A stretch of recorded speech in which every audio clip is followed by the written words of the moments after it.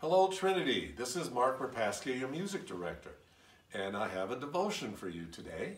And this is based on a, a, a, lovely love gift that Cindy and I received just in the last few days.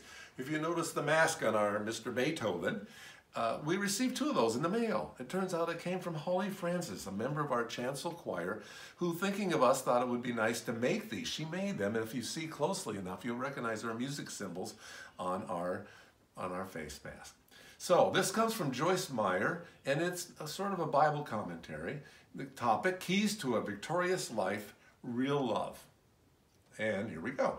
Some people think of love as a sensation, a wonderful feeling of excitement, or gushy emotions that make us feel warm and cozy all over. While love can include wonderful feelings and powerful emotions, it's so much more than that. Real love is a decision to unselfishly seek the best for one another, Romans 13:8. Real love meets needs even when sacrifice is required in order to do so. The Bible makes this point in 1 John 3:18.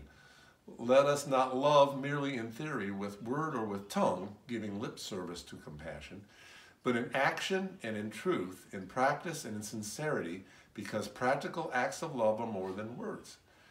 Clearly, love moves us to take action, not just to theorize or talk. If we want to be like Jesus, we need to love others with the same kind of gracious, forgiving, generous, unconditional love he extends to us. And hymn number 581 from our hymnal, Lord, whose love through humble service has a great fourth verse that is appropriate, I think, to this topic. Called by worship to your service, forth in your dear name we go. To the child, the youth, the aged, love in living deeds to show.